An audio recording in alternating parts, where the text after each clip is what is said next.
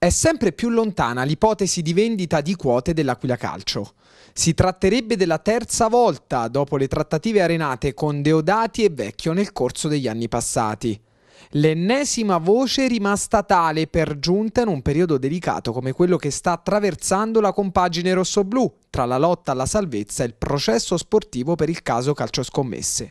Questa volta al cospetto del club aquilano si era presentato un gruppo di imprenditori tra cui Enrico Folgori, ex vicepresidente del Martina Franca, e Massimo Macchi, che in un primo momento si pensava potesse agire per conto della Graziella Group, azienda orafa toscana per la quale è poi arrivata nelle scorse ore la secca smentita del presidente Gianni Gori, che ha dichiarato a chiare lettere di non voler investire nel calcio.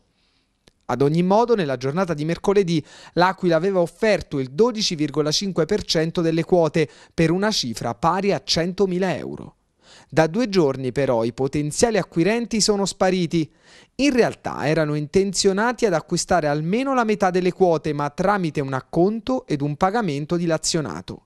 I dirigenti aquilani si sono opposti chiedendo un ingresso graduale per valutare le loro reali intenzioni e disponibilità economiche. A questo punto però, senza più alcun contatto tra le parti, il club rossoblù sta raccogliendo autonomamente tra i soci, anche se a fatica, i 400.000 euro necessari per pagare gli stipendi dei giocatori entro il 16 febbraio.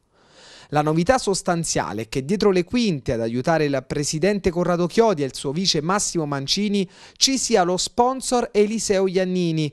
L'imprenditore aquilano, già presidente dell'Aquila nei primi anni 2000, metterà nelle casse rossoblù circa il 25% della somma necessaria, tradotto 60.000 euro, proprio come Chiodi e Mancini.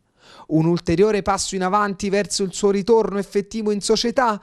Presto per dirlo, ma i presupposti ci sono tutti.